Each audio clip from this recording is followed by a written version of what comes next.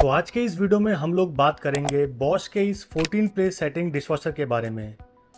तो जब एक कस्टमर फ़र्स्ट टाइम अपनी फैमिली के लिए एक डिशवॉशर परचेज करता है एंड जब कंपनी का सर्विस इंजीनियर उसके घर पे उसको इंस्टॉल करने के लिए आता है तो जो क्वेश्चन एंड आंसरिंग कस्टमर और उस सर्विस इंजीनियर के बीच में होती है, आज हम कोशिश करेंगे उन सभी क्वेश्चनों का आंसर अपने इस वीडियो के थ्रू पूरा करने की। एंड आज मेरे साथ BSH के एक्सपर्ट इंजीनियर है, जो इस वीडियो में हेल्प करेंगे। कि कैसे हम इस डिशवाशर को यूज़ करते हैं और क्या इसके अंदर हमें फीचर्स फ़ंक्शन और कैसे हम इसके अंदर सारे यूटेंसिल्स वगैरह वगैरह लोड करते हैं। तो ये सब चीज़ें आज हम डिस्कस करेंगे अपने इस वीडियो में। तो वीडियो को लास्ट तक देखिएगा। चलिए शुरू करते हैं इस वीडियो को। तो जैसे कि मैंने कहा, ये बॉश का 14 प्ले सेटिंग डिशवाशर है। 14 प्लेस का मतलब होता है कि जो 14 परसेंट मील कंज्यूम करते हुए जितने यूटेंसिल्स वो यूज़ कर रहे हैं, आप इस डिशवाशर के अंदर उन सभी यूटेंसिल्स को एक बारी में वॉश कर सकते हैं। तो जब इस डिशवाशर के डोर को हम लोग ओपन करते हैं तो सबसे बॉटम साइड में आपको इसका, ये बॉटम बास्केट मिलता है। ये इसका बॉटम बास्केट है, जिसके अंदर हम अपने हैविली सॉइल डिशेज मतलब जो हमारे बड़े गंदे बर्तन होते हैं, उन बर्तनों को हम इस बॉटम वाली बास्केट में रख के हम इजीली वॉश करते हैं। देन इसके अपर साइड में हमें इसका मिडिल बास्केट मिलता है, जिसमें हम लोग अपने मिक्स ऑयल डिशेज मतलब जो छोटे, बड़े जितने भी बर्तन होते हैं, वो इस अपर वाले बास्केट के अंदर रख के हम इसे वॉश करते हैं। देन अपर साइड में इसका कटलेरी ट्रे मिलता है। तो जितना भी कटलेरीज हैं, आप इसके ऊपर रख के ईजिली उनको प्रॉपर तरीके से वॉश कर सकते हैं। तो ये बेसिक इसका आपको इंटीरियर मिलता है इस डिशवाशर के अंदर। तो जब कस्टमर एक डिशवॉशर को परचेज करता है तो एक कस्टमर का एक कॉमन क्वेश्चन होता है वो कस्टमर का क्वेश्चन ये होता है कि हम लोग इस डिशवॉशर के अंदर कितने बर्तन धो सकते हैं? मतलब कस्टमर नंबर ऑफ़ काउंट्स जानना चाहता है कि कितने गंदे बर्तन हम एक साथ इस डिशवाशर के अंदर वॉश कर सकते हैं। तो इसका क्या आंसर है? इसमें ज़रूरी नहीं है कि हम एक काउंट बता सकें, क्योंकि क्या होता है, बर्तन छोटे भी होते हैं, बड़े भी होते हैं तो अगर हम ज़्यादा बड़े बर्तन यूज़ करते हैं तो उसकी क्वांटिटी कम हो जाती है। अगर हम छोटे बर्तन यूज़ करते हैं तो उसमें ज़्यादा होती है। तो एक हम कह सकते हैं कि 40 से 50 बर्तन हम एक बार में वॉश कर सकते हैं, जिसमें हमारे जैसे स्पून होता है नाइफ होता है, बड़ा हमारा बाउल है और प्लेट्स हैं, ये सारी चीज़ें हम एक साथ यूज़ कर सकते हैं। तो जब हम इसे लोड करते हैं तो हमें पता लगता है एक एक करके कि हम उसमें कितने बर्तन एक बार में लोड कर सकते हैं। जैसे अगर आप फ़र्स्ट टाइम लगाते हैं तो हो सकता है बर्तन आपके तीस आए, क्योंकि आपने बड़े बर्तन लगाए। अगर हो सकता है आपने छोटे बर्तन ज़्यादा यूज़ किए हैं, जैसे प्लेट्स होती हैं, आप प्लेट ज़्यादा यूज़ करें तो आपके क्वांटिटी में बड़े बर्तन जो होंगे वो ज़्यादा आएँगे तो कहने का मतलब है कि नंबर ऑफ़ काउंट्स आप एग्जैक्ट नहीं बता सकते। मतलब 50 से 60 बर्तन आप इसके अंदर इजीली रख के वॉश कर सकते हैं क्योंकि वो एक स्पून को भी एक यूटेंसिल्स में काउंट करता है। बिल्कुल। तो नेक्स्ट हम बात करते हैं कि कस्टमर पूछता है कि इसमें हम लोग यूटेंसिल्स को कैसे लोड करते हैं। मतलब बर्तन हम लोग इसमें कैसे लोड करते हैं? तो ये भी अब हम देख लेते हैं अपने इस वीडियो में। कुछ बर्तन हमारे पास हैं। तो इसकी पहले बॉटम वाली बास्केट के अंदर हम लोग यूटेंसिल्स को लोड करेंगे। अब हम इसमें रख के देख रहे हैं, देखिए ये छोटी प्लेट्स हैं तो हम इस साइड में रख सकते हैं। ऐसा कोई ज़रूरी नहीं है कि कोई हमें यूटेंसिल्स उसी जगह पर रखना है, जिस जगह पर बना हुआ है। आप कोई भी बर्तन यूटेंसिल्स कहीं पे भी रख सकते हैं, जैसे ये छोटी प्लेट्स हैं, ये हमने यहाँ लगा दी हैं। अगर आपके पास जगह है तो आप ये उस साइड पे भी लगा सकते हैं। तो अभी हमारे पास बड़ी प्लेट्स भी हैं तो वो भी हम लगाते हैं। ये देखिए वन बाई वन हम इसमें लगा सकते हैं। बहुत अच्छा स्पेस दिया हुआ है इसमें। मतलब इसमें ऐसा कुछ कंसर्न नहीं है कि आपने जहाँ पर इसके सॉकेट बने आपने वहीं पर यूटेंसिल्स को प्लेस करने हैं। हाँ। मतलब जैसे जैसे आपके पास जगह आपके पास मिलती है डिस्पोजर के अंदर हम्म। आप उसको उस तरीके से प्लेस कर सकते हैं। और ऐसा भी तो होता है ना जब कस्टमर कुछ टाइम तक डिशवॉशर को यूज़ कर लेता है तो कस्टमर को भी एक आइडिया हो जाता है कि कैसे हमें डिशवॉशर के अंदर यूटेंसिल्स को प्लेस करना है। हाँ जैसे आप यूज़ करते रहेंगे आपको पता लगता रहेगा कि ये बर्तन हमने लास्ट टाइम इधर लगाया था इसकी प्लेसमेंट इधर ज़्यादा अच्छी है तो हम इधर लगा सकते हैं क्योंकि हो सकता है वो छोटा बर्तन हो या बड़ा है वो उसकी जगह पर सही से फिट नहीं बैठ रहा है। अब जैसे हमारे पास ये प्लेट सी थी ये हमने इधर लगा दिया अगर आपके पास और होते हैं तो यहाँ और भी जगह आप लगा सकते हैं। और अगर आपके पास ज़्यादा प्लेट्स हैं तो आप इस वाले पोर्शन में भी इसे लगा सकते हैं। ये पोर्शन आपका फोल्ड हो जाता है। अगर आपके पास बड़े बॉल वगैरह हैं कुकर है कढ़ाई है वो भी हम इसमें यूज़ कर सकते हैं। तो इधर से हम इसको फोल्ड कर देते हैं। ये इस साइड से। मतलब अगर प्लेट्स हमारे पास ज़्यादा नहीं है तो हम हम्म। इसके पीछे वाले रैक्स को फोल्ड करके हम इसमें अपने कुकर कढ़ाई पतीले भगोने ये सारे यूटेंसिल्स हम इसके ऊपर प्लेस कर सकते हैं। बिल्कुल। ये देखिए, ये फोल्ड हो गया। अब ये क्या है? ये बड़े बर्तनों के लिए, जैसे हमारे पास एक कुकर है। जो भी बर्तन हम इसमें रखेंगे, वो नीचे की तरफ़ फेस करके रखेंगे। यानी अगर जब हम इसको यूज़ करते हैं तो ये क्लीनिंग के लिए यहाँ पे ये आर्म से तो इस तरह से क्लीन होता है। प्रेशर अगर हम इसके ऊपर ऐसे रख देंगे तो सिर्फ़ यही बर्तन आपका क्लीन होगा, इस पर प्रेशर नहीं आएगा। तो एक के ऊपर एक नहीं रखेंगे, हम साइड में इसको रखेंगे।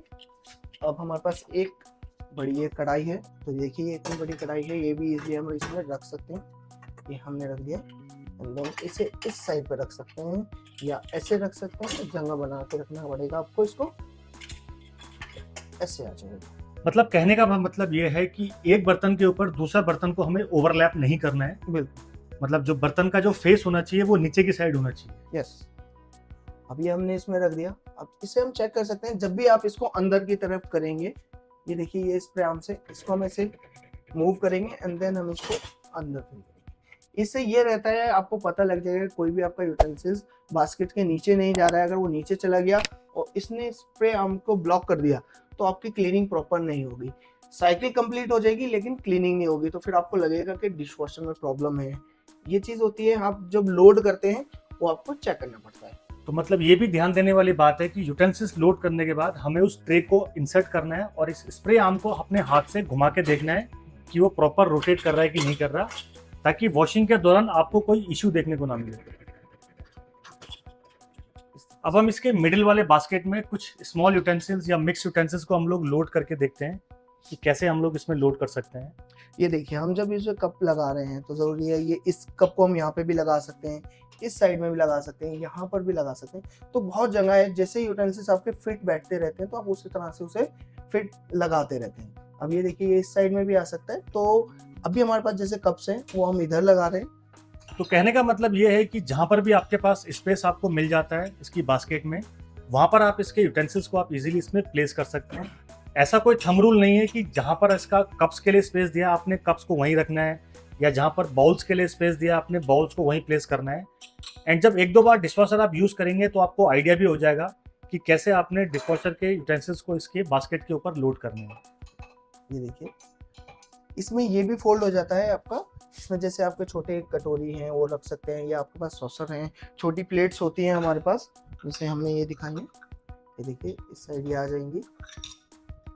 पास जितनी ज़्यादा हो सकती हैं उतनी लगा सकते हैं। ये हमारे पास कम है तो हम इसमें गैप दे के लगा रहे हैं और ये हमारे पास छोटे कटोरी हैं तो हम इन्हें इस साइड से लगा सकते हैं। ये इस साइड में लग जाएँगी।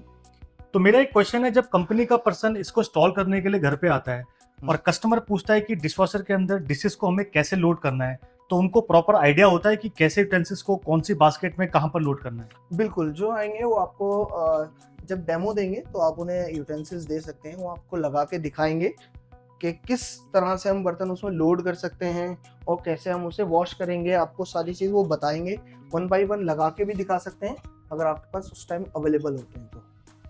मतलब अगर आपके पास उस टाइम यूटेंसिल्स अवेलेबल हैं तो कंपनी का एग्जीक्यूटिव आपको सारे यूटेंसिल्स बास्केट में लोड करके दिखाएगा और कैसे उसे यूज़ करना है वो सारा आपको प्रॉपर गाइड करके जाएगा। ऐसे लगा सकते हैं। ज़रूरी नहीं है कि अगर ये यहाँ पे जगह नहीं है तो हम इसके बराबर में भी लगा सकते हैं। यहाँ अगर हमारी स्पेस है प्लेट्स लगा दी हमने तो ग्लास को इधर लगा सकते हैं। नहीं तो अगर हमारे पास स्पेस है तो हम इसमें भी लगा सकते हैं। तो मतलब जहाँ पे हमारे हमें स्पेस मिल जाता है हम इजीली उन बर्तनों को वहाँ पर रख सकते हैं ताकि प्रॉपर वॉशिंग हमारे यूटेंसिल्स में हमें मिल सके। तो देखिए हमने यहाँ पर ये अपर वाले बास्केट में सारे यूटेंसिल्स को हम लोग फ़ीड कर दिए हैं। अब इसको हम लोग अंदर इंसर्ट करते हैं। क्या इसमें भी अब हमें चेक करना पड़ेगा? हाँ इसमें आपने जब लोड कर दिया है तो जब जैसे हम उसे इंसर्ट कर रहे थे तो इसे भी एक बार ऐसे हमें घुमा के देखना है कि कोई भी यूटेंसिल्स नीचे की तरफ़ नहीं आ रहा है। अगर नीचे की तरफ़ आएगा तो ये जो आर्म्स होगा ये अटकेगा। मतलब किसी भी यूटेंसिल्स की जो टेल है वो इसके हम्म। स्प्रे आर्म को टच नहीं करनी चाहिए। ताकि इसके मूवमेंट में कोई दिक्कत ना रहे। बिल्कुल। ठीक है, अब इसे हम बंद करते हैं। तो जैसे कि हमने इस अपर वाले बास्केट में सारे यूटेंसिल्स को लोड कर दिए। मेरा क्वेश्चन है, जो ये साइड में रैक्स बने हैं, इनका क्या रोल है और इसको हम लोग कैसे यूज़ करते हैं? ये जो दिया होता है, ये हमारे वाइन ग्लासेस के लिए होता है। इसको हम इस तरह से रेडी करते हैं, जैसे आ जाता है। और जो वाइन ग्लास की टिप होती है टेल होती है, उसको हम यहाँ पे फंसा देते हैं। वो इजिली यहाँ रख के यहाँ पर एडजस्ट हो जाता है। तो क्या होता है जब आप यूज़ करते हैं क्योंकि वो हल्के ग्लासेस होते हैं तो प्रेशर से वो कहीं हिलते नहीं है। तो टूटे नहीं इसलिए हम उसको इसमें फोल्ड करके लगाते हैं।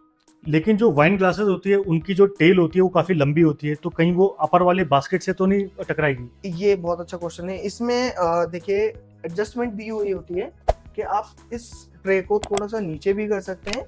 इसमें आप देखिए ये इसको मैं यहाँ से प्रेस करूँगा। ये ये नीचे हो गया। तो इसमें तीन हमारे पास स्टेप होते हैं। ये सबसे नीचे है हमारा। अगर, अब देखिए आप देखेंगे तो यहाँ पे बहुत स्पेस आ गया हमारे पास। और नीचे भी हम चेक करेंगे तो वहाँ पे भी हमारे पास स्पेस है। हम इसे बंद कर रहे हैं। ये देखिए, हमारे पास अभी भी बहुत स्पेस है। तो ये देख रहे हैं आप, ये हमारा स्पेस आपको ये भी देखना होगा, जब आप नीचे कर रहे हैं कि वो नीचे तो नहीं टकरा रहा है। अब अगर लग रहा है आपको कि वो नीचे लग रहा है तो हम इसको एक स्टेप और ऊपर उठाएँगे ये यहाँ से पकड़ेंगे। फ़र्स्ट ये अब आप देखते हैं इसमें और गैप हो गया तो मतलब जब इस अपर वाले बास्केट में हम लोग यूटेंसिल्स को लोड करेंगे और इसको अगर हम लोग हाइट एडजस्ट करके अगर इसको सबसे लोअर लेवल पे सेट करते हैं तो हमने इस बॉटम वाले बास्केट में चेक करना है कि वो आपस में कहीं यूटेंसिल्स टकरा तो नहीं रहे। बिल्कुल। तो क्योंकि जब अब आप यूज़ करते हैं तो देखिए अगर ये स्पेस नीचे आ जाएगा तो हो सकता है ये आपका इसमें टकराए तो इसीलिए आपको चेक करना है कि अगर हमने सबसे नीचे कराए तो आपकी प्लेट्स पे वो नहीं लगे।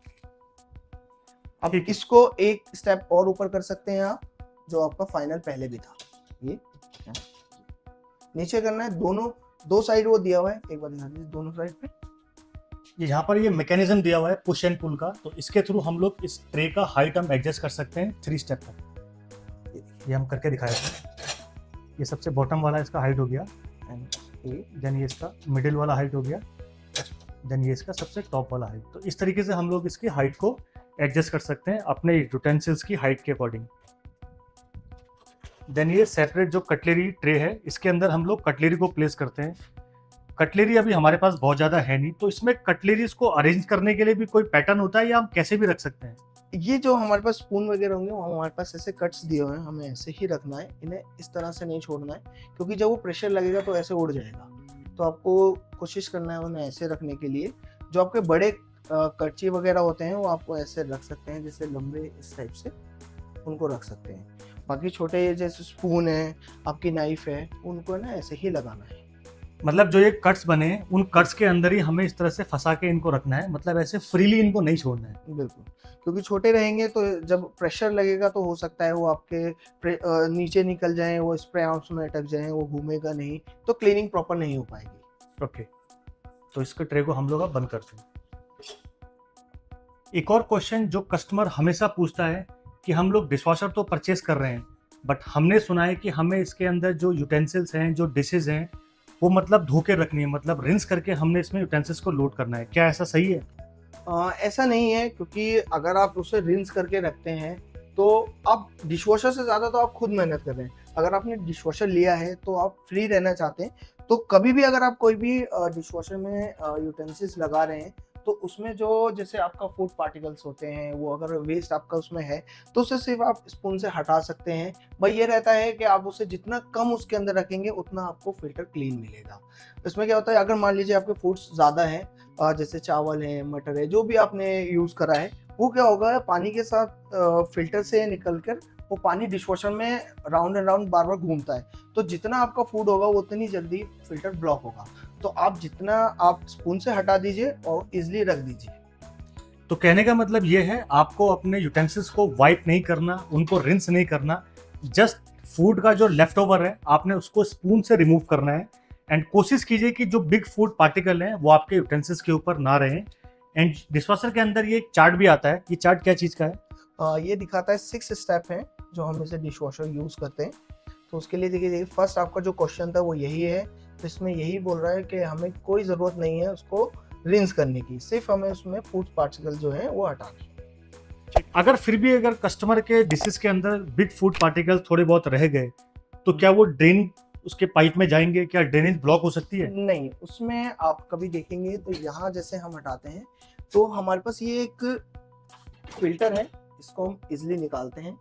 ये एरो हमारा बाहर की तरफ़ रहता है तो इसमें पानी इधर से जाता है और इस फ़िल्टर से निकलता रहता है।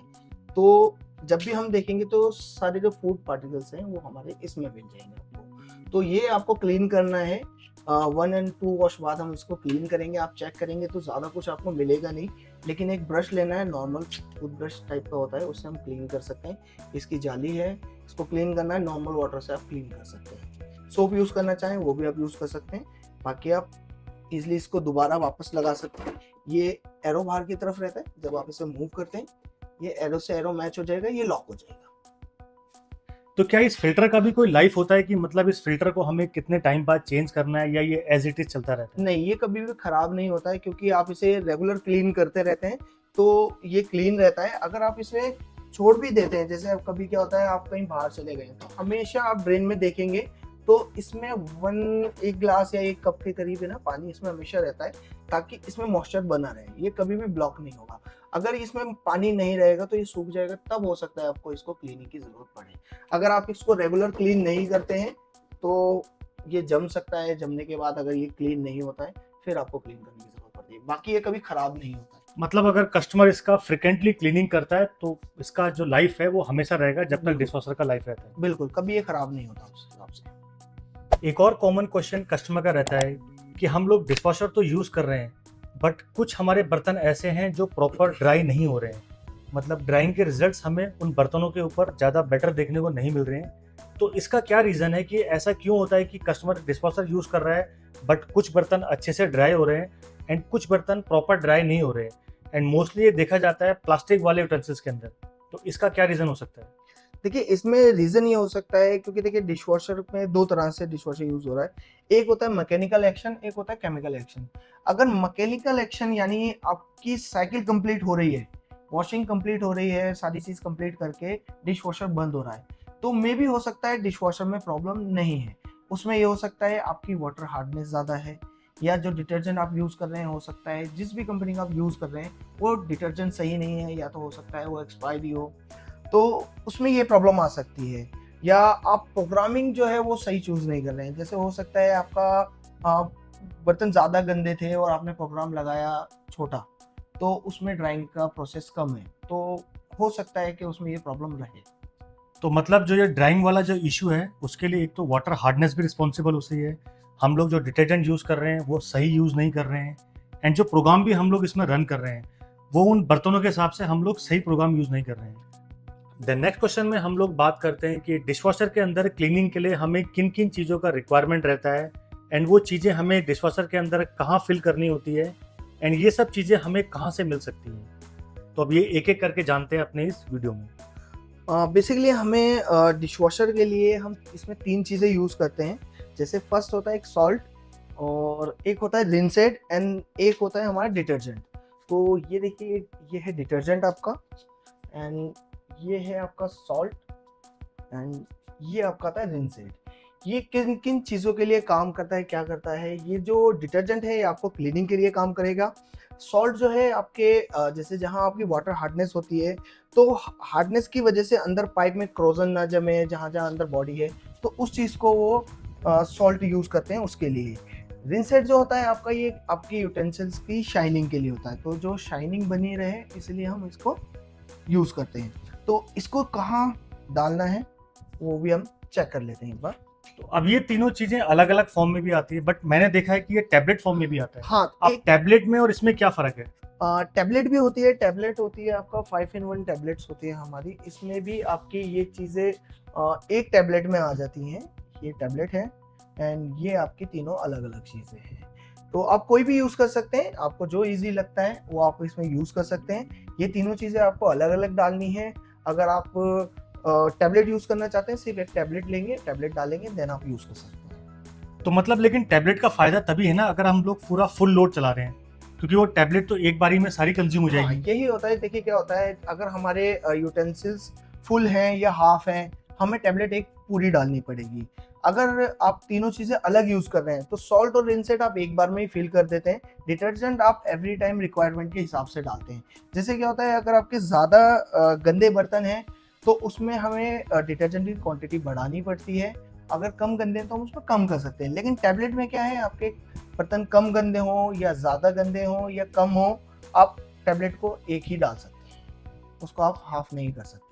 ठीक है तो अब ये डिशवॉशिंग का जो सॉल्ट होता है हम लोग इसे कहाँ पे फिल करते हैं? एक बार वो भी देख लेते डिश हैं। वॉशर का सॉल्ट होता है हमारा वो हम इस पोर्शन में डालते हैं यहाँ पर? इसका एक चैम्बर है सॉल्ट चैम्बर ये देखिए इसमें लिखा भी है सॉल्ट इसको खोलेंगे एंड देन इसके अंदर हम इसमें सॉल्ट को फिल कर देंगे पूरा। तो इसमें कितना सॉल्ट जाता है एक बार में? इसमें टू एंड हाफ़ के जी आ जाता है तो आपके पास अगर आप वॉश का ये सॉल्ट आप यूज़ करते हैं तो वन के जी का होता है तो एक बार में पूरा फिल कर सकते हैं।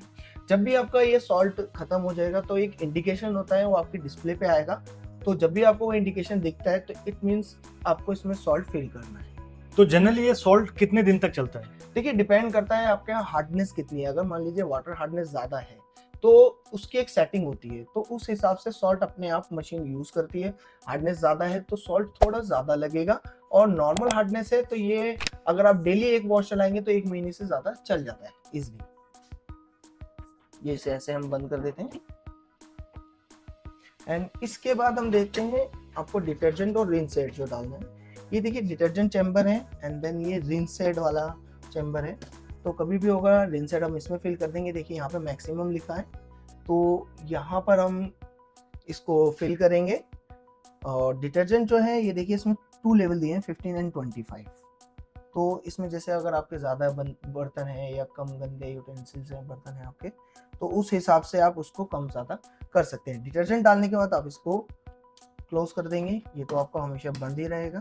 तो मशीन जब उसको चाहिए होगा, वो डिटर्जेंट चैम्बर खोलती है और ऊपर डिटर्जेंट यूज़ करती है। तो चलिए अभी इस डिस्वाशर को हम लोग ऑन करके इसके सारे प्रोग्राम्स को हम लोग चेकआउट कर लेते हैं। अब जैसे इसमें कई सारे प्रोग्राम्स होते हैं अब कस्टमर पूछता है कि इसमें सबसे बेस्ट प्रोग्राम कौन सा है या हमें कौन सा प्रोग्राम यूज़ करना चाहिए?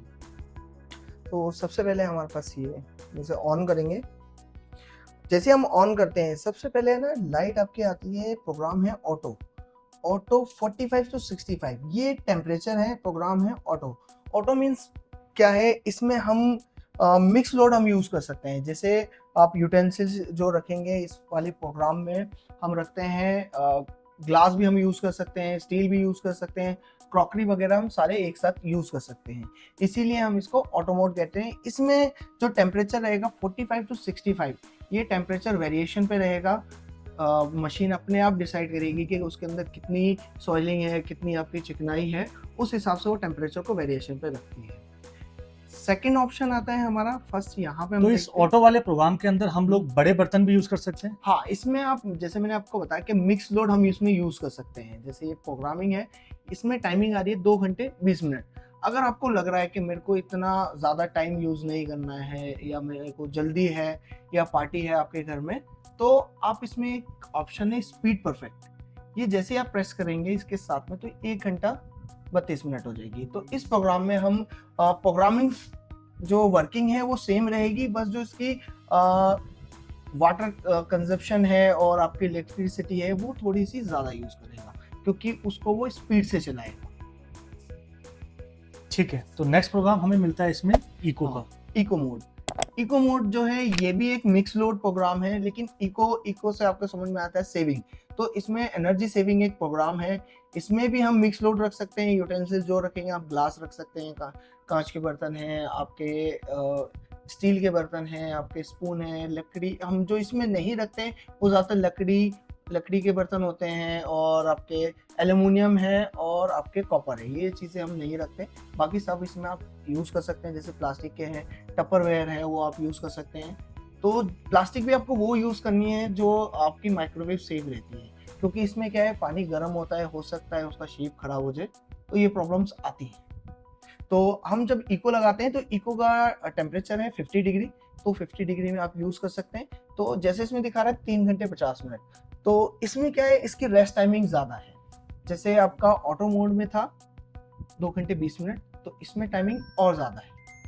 इसमें क्या है, जैसे तीन घंटे पचास मिनट जो दिखा रहा है, जैसे क्या आता है जो स्प्रे आर्म्स की स्पीड है, वो थोड़ी और स्लो हो जाएगी। तो उसमें आपका वाटर सेविंग होगी इलेक्ट्रिसिटी सेव रहेगी, जो जो हमारे तीन स्प्रे आर्म्स हैं, वो एक एक करके वॉश करेंगे तो उसमें आपकी इलेक्ट्रिसिटी कम कंज्यूम होती है।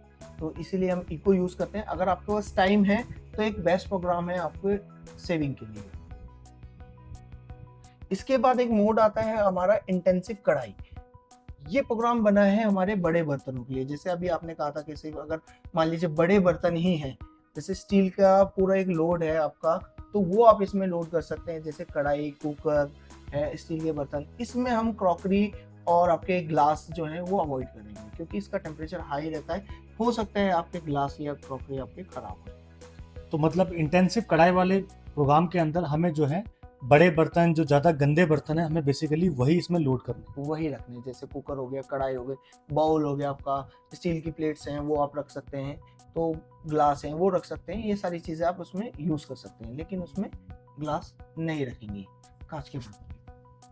इसके बाद एक प्रोग्राम आता है नॉर्मल ये 65 डिग्री है, इसमें टाइम है दो घंटे बीस मिनट। स्पीड अगर हम लगाते हैं तो ये एक घंटा तैतीस मिनट का होता है। ये भी प्रोग्राम जो है मिक्स लोड में आता है। इसमें भी हम दोनों तरह के बर्तन रख सकते हैं। इसके बाद आता है एक प्री रिंस प्री रिंस हम दो तरह से यूज़ कर सकते हैं। जैसे कि आप मान लीजिए कहीं बहुत टाइम से बाहर थे तो आपके ओनली जो बर्तन थे, वो बाहर रखे हुए थे। तो उन्हें सिर्फ़ पानी से रिंस करना है, वो कर सकते हैं। या कुछ कस्टमर क्या करते हैं जैसे वर्किंग होते हैं, वो सुबह के बर्तन डिश वॉशर में छोड़ देते हैं और शाम में आके उसे यूज़ करते हैं। उन्हें वॉश करते हैं पूरे डिनर और आपके लंच और ब्रेकफास्ट के बर्तन। तो तीनों के वो इतना लोड नहीं होता तो तीनों को जमा करके एक बार वॉश करते हैं। तो उसके लिए पहले हमें रिंस चलाना पड़ता है देन आप अपना प्रोग्राम जो यूज़ करते हैं, वो यूज़ करना है। तो इस तरह से हम इसे रिंस को यूज़ कर सकते हैं। जैसे आपके घर में पार्टी है, आप डिनर सेट निकालते हैं तो एक बंदा चाहिए होता है आपको उसे, सारे बर्तनों को रिंस करने के लिए। वो काम आपका डिश वॉशर कर सकता है। इसके बाद आता है एक फेवरेट ऑप्शन है। इसमें 44 मिनट का एक सबसे शॉर्ट साइकिल है। इसमें आप जैसे ब्रेकफास्ट और लंच के बर्तन होते हैं वो ज़्यादा गंदे नहीं होते और क्वांटिटी भी उनकी कम रहती है तो वो आप इसमें चला सकते हैं। या आप रात के भी ऐसा नहीं है कि इसमें सिर्फ़ वही चलेंगे आप लगा सकते हैं लेकिन इसमें जो आपको हंड्रेड परसेंट ड्राइंगे वो नहीं मिलती है। मतलब यूटेंसिल्स इस प्रोग्राम के अंदर ड्राई नहीं मिलेंगे। हाँ पूरे ड्राई नहीं मिलेंगे। ऐसा नहीं है कि पूरे मतलब ड्राई रहती है लेकिन हंड्रेड परसेंट ड्राइंग नहीं होती है इसमें। बाकी ये जो प्रोग्राम है one two three and four इसमें हंड्रेड परसेंट ड्राइंग है। स्टार्ट इन आवर्स में हम मशीन को डिले कर सकते हैं। मतलब आप चाहते हैं कि मशीन को चार घंटे बाद रनिंग में लाना है तो आप इसमें अपना प्रोग्राम लगा के इसमें जितना आप डिले करना चाहते हैं, पाँच घंटे बाद इसे चलाना चाहते हैं तो पाँच आवर आ ये अपने आप स्टार्ट हो जाएगी मशीन मतलब बेसिकली आप अपने प्रोग्राम को इस मोड के अंदर शेड्यूल कर सकते हैं। जैसा रात में आपने डिस्पॉसर को लोड करके रख दिया और आपने सुबह नौ घंटे बाद या आठ घंटे बाद का प्रोग्राम सेट कर दिया तो जब आपको ब्रेकफास्ट करने के लिए यूटेंसिल चाहिए होंगे तो आपको प्रॉपर वो वॉश एंड ड्राई मिलेंगे। बिल्कुल। एंड इसके बाद एक रिमोट स्टार्ट फ़ंक्शन है, ये हमारा होम कनेक्ट फीचर है तो इसमें हम अपने डिश वॉशर को फ़ोन से कनेक्ट कर सकते हैं और हम कहीं पर भी बैठ के इसको वर्किंग पे ला सकते हैं। इसमें जब आप इसे कनेक्ट करते हैं तो इसमें कुछ कस्टमाइज आप, जैसे ये एक फेवरेट ऑप्शन था, जिसमें से 44 आ रहा है तो इसमें कुछ एक्स्ट्रा प्रोग्राम भी मिलेंगे आपको तो वो चीज़ आप इसमें ऐड कर सकते हैं। इस प्रोग्राम के बदले आप कोई और सा प्रोग्राम लाना चाहते हैं तो आप अपना फेवरेट बना सकते हैं उसे। तो मतलब कोई एक नया प्रोग्राम कंपनी ने नया रिलीज़ किया है तो उसको डाउनलोड करके हम इसके फेवरेट वाले ऑप्शन में लाके हम उसे स्टोर कर सकते बिल्कुल बिल्कुल। जैसे कि अगर मान लीजिए इनकेस अभी नए मॉडल आएँगे या आने वाले टाइम में भी आएँगे तो जो उसमें प्रोग्रामिंग आएगी, नया प्रोग्राम आएगा तो आप उसे डाउनलोड करके इसमें भी हम यूज़ कर सकते हैं। ये एक्स्ट्रा ड्राई का जो फीचर है, ये हम तब यूज़ करते हैं जैसे ऐसे आपको लग रहा है कि जैसे हमने प्लास्टिक के बर्तन रखे थे लास्ट टाइम हमारी वो ड्राई नहीं हुए सही से तो आप उसमें एक्स्ट्रा ड्राई का ऑप्शन ऐड कर सकते हैं। जो जो ड्राई की एफिशिएंसी होगी वो उससे थोड़ी एक्स्ट्रा बढ़ नेक्स्ट प्रोग्राम है हमारा इंटेंसिव जोन इस प्रोग्राम में हम क्या कर सकते हैं, जैसे ये ऑटो मोड है, इसमें हम ऐड कर सकते हैं। कोई भी प्रोग्राम में इको में भी हम इसको ऐड कर सकते हैं। इसका पर्पज़ क्या है, जैसे आपके जो कुकर कढ़ाई है आपकी वो ज़्यादा गंदी है तो आप इसे लोअर बैस्केट में रखेंगे तो इसका जो प्रेशर होगा वो थोड़ा तेज़ हो जाएगा तो उससे अच्छे से वो क्लीन हो जाएँगे। तो इसीलिए हम इंटेंसिव जोन यूज़ करते हैं। इसके बाद एक आता है हाफ़ लोड हाफ़ लोड में जैसे आपने हाफ़ लोड लगाया, आपको लग रहा है कि बर्तन बहुत कम है, नीचे की बास्केट में ही है, ऊपर एक दो हैं। तो मशीन क्या करेगी? नीचे ज़्यादा फोकस करेगी, ऊपर कम करेगी। तो क्या होगा, आपके जो नीचे रहेंगे बर्तन, वो इजीली आराम से अच्छे वॉश हो जाएँगे और मशीन को पता है कि आपके कम बर्तन है तो वो इतनी ज़्यादा कंजप्शन भी नहीं करेगी। इसके बाद आता है कि स्पीड परफेक्ट स्पीड परफेक्ट में आपकी टाइमिंग कम हो जाएगी, जो प्रोग्राम आपका तीन घंटे पचास मिनट था, उसको हम स्पीड परफेक्ट से एक घंटे बारह मिनट में कर सकते हैं। ये आपको तब करना है जब आप जल्दी में हैं या आपको जल्दी बर्तन वॉश करने हैं या पार्टी है आपके यहाँ। अगर आपके पास टाइम है तो आप नॉर्मल प्रोग्राम यूज़ कीजिए तो उसमें आप एनर्जी कंजप्शन कम कर पाएँगे। एंड देन सबसे लास्ट में हमें उसे स्टार्ट करना है। जैसे हम इसे स्टार्ट करेंगे ये हमारा लाइट स्टेबल हो जाएगी। इट मीन्स ये ऑन हो गया। अब जैसे ये डिशवाशर के डिस्प्ले के ऊपर ये दो साइन आ रहे हैं कंटिन्यूस तो ये इनका क्या पर्पस है? इनका क्या मतलब है? आ, जैसे जब मैंने शुरू में बताया था हम डिटर्जेंट कहाँ लोड कर रहे थे? डिटर्जेंट जैसे आप लोड करते हैं उसमें एक मैंने आपको बताया था सॉल्ट है, एक रिंसेड है। तो ये दोनों उसके ही साइन है, जैसे ही आप इनको फिल कर देंगे तो ये इंडिकेशन बंद हो जाएँगे। जैसे ही वो आपका एम्प्टी होते हैं, ख़त्म हो जाते हैं तो आपको ये साइन आ जाएगा। अगर मान लीजिए रिंसेट पहले ख़त्म हो गया तो रिंसेट का साइन आ जाएगा। इट मीन्स मशीन बोल रही है आपको, इसमें रिंसेट की रिक्वायरमेंट है तो आप रिंसेट फिल कीजिए। ऐसे ही सॉल्ट का भी है सॉल्ट आपका, जैसे आप इसको फिल कर देंगे तो साइन आपका चला जाएगा। तो फ्रेंड्स बॉस के इस डिशवाशर के रिगार्डिंग अगर कोई क्वेश्चन अगर आपके मन में होगा तो इस वीडियो के कमेंट बॉक्स में आप कमेंट करके आप मेरे से पूछ सकते हैं। मैं कोशिश करूँगा आपके उस क्वेश्चन का जल्दी जल्दी आंसर करने का। तो मिलते हैं अपने नेक्स्ट वीडियो में, तब तक के लिए गुड लक